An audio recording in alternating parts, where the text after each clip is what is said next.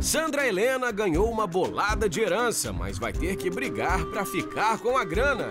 A dona Marieta foi coagida a fazer esse testamento. Coagida? Por mim? eu nem sabia o que estava acontecendo. Por favor, eu peço aos senhores que contenham as suas clientes. Hoje, pega, pega!